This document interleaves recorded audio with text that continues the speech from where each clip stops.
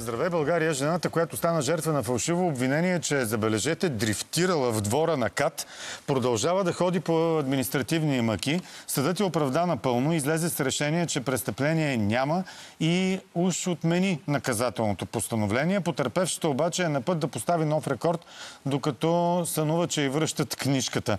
Време е за рубриката Пълен абсурд. Румен Бахов е в студиото и продължава по тази тема и ще й припомни същевременно целият казус. Добро утро, добре дошъл. Добро утро, Вики. Благодаря. Здравейте на всички, които не гледат. Аз съм Румен Бахов, а вие гледате Пълен абсурд.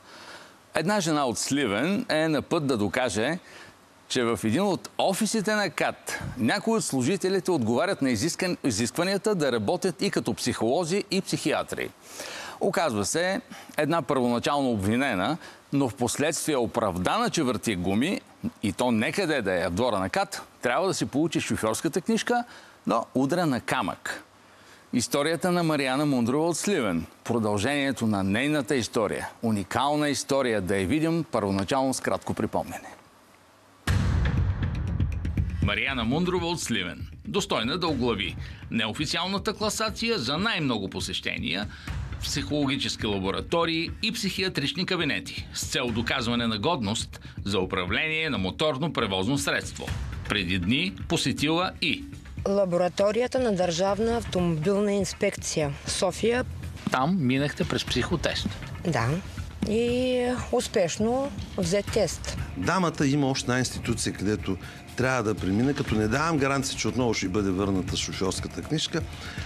Това е тренажора на НАСА в Штатите, където тренират бъдещите астронавти. Заветната мечта на Марияна Мундрова е да й върнат книжката, след като се оказа, че не е дрифтила в двора на Кат и съдът я унивини напълно.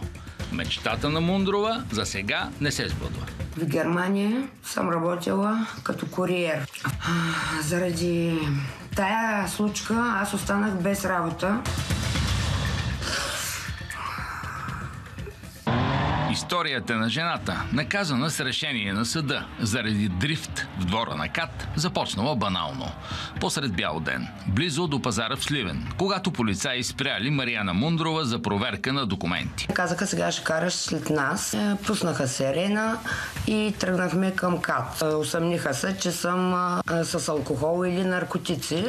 Направиха ми те за алкохол, излезе отрицателен. Започнахме да правим те за наркотици. Дадоха ми тампон, нямах слюнка и в продължение на около 20 минути, може би повече, им казвам хора, нямам слюнка, дайте ми вода или дъвка, за да ми дойде слюнка и да направим теста. Търкам го и те ма гледат всичките седем полицая и ам, катаджи, бе хора, викам имам проблем с венците, половин часа търкам какво и искам, викам, взимайте ми кръв, не мога, викам повече, искам вода.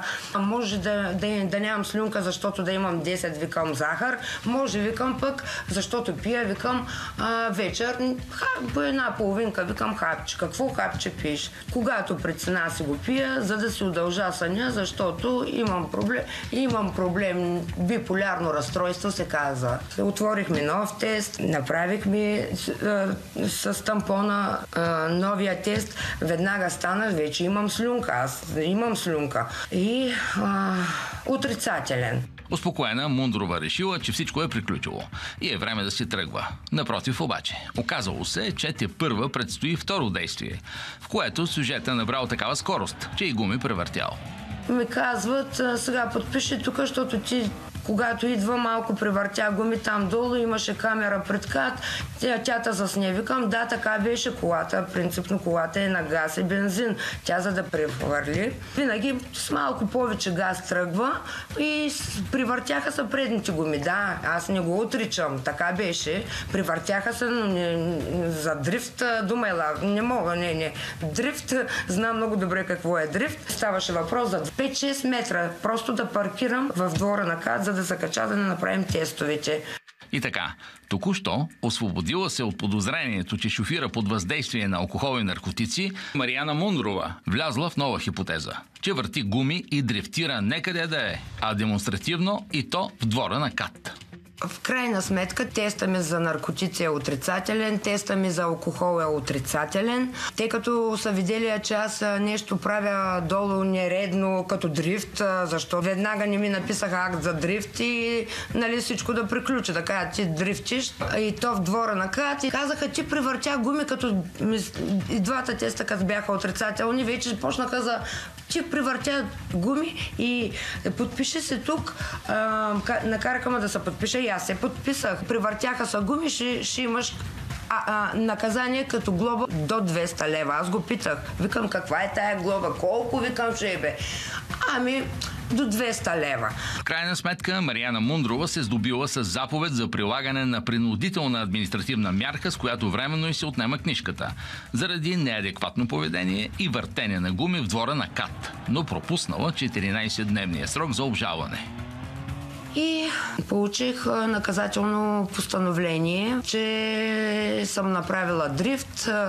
Взимат ми книжката за една година с 3000 лева акт. Районният съд потвърдил наложеното наказание. Една година бях лишена от книжка и дължах 3000 лева акт. Че съм правила дрифт в двора на КАТ.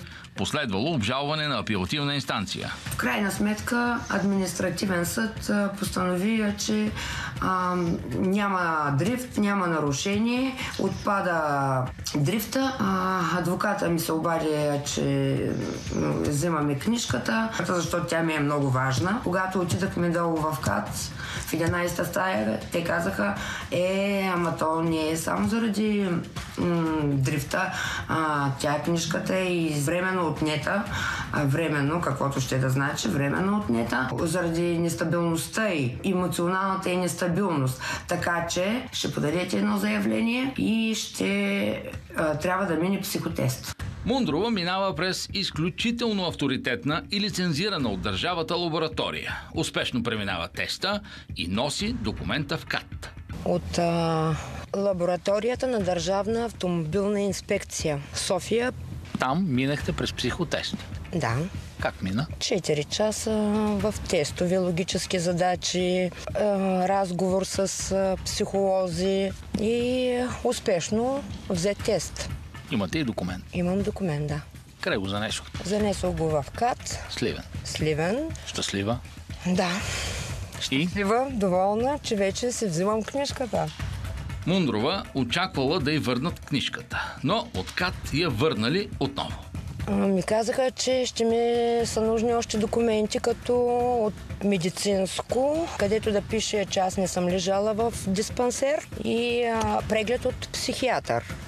Ходих при психиатър, взех си документ от психиатър. Психиатър ми даде документ, където пише, че съм психически годна. Въпреки това, ми казаха, че аз пак няма да имам книжка, Това свидетелство казва всичко. Това удостоверение казва всичко. Тази е, госпожа е преминала през съответните тестове, през съответното изследване на апарата за проверка на цветоусещането и е, качеството на нейната реакция.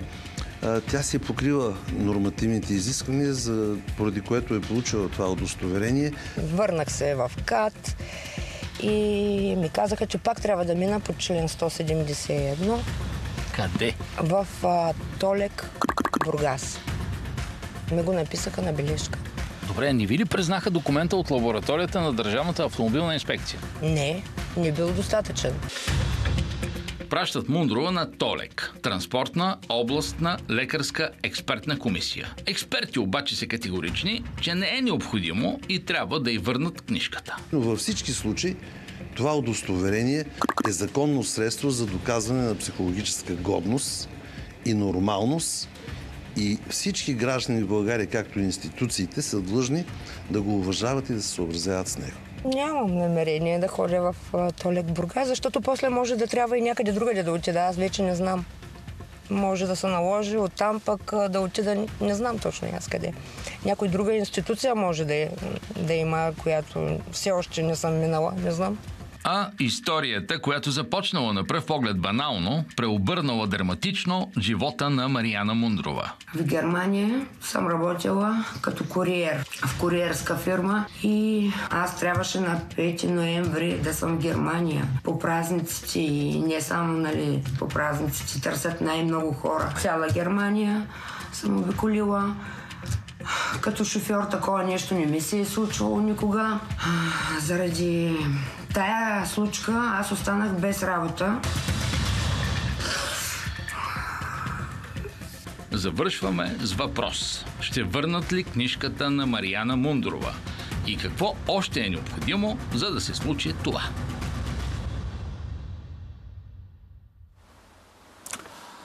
Утре предстои да се случи нещо почти сензационно. Мариана Мундрова няма да ходи в лабораторията на НАСА, но екипът ни тръгва за Сливен. Там чака самата Мундрова. Чака цяла папка резултати от изследвания в психолаборатории и прегледи от психиатър.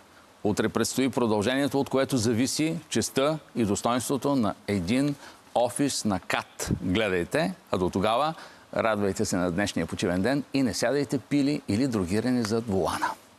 Румен Бахов с пълен абсурд. Да, точно това е пълен абсурд. Продължаваме с следващата серия. А, както разбрахте, утре е важен ден. Да, за с камера и с микрофон а, и с Румен Бахов. Кратка пауза правим сега и продължаваме с още теми след, а, след минути. В 9 часа следват новините по нова.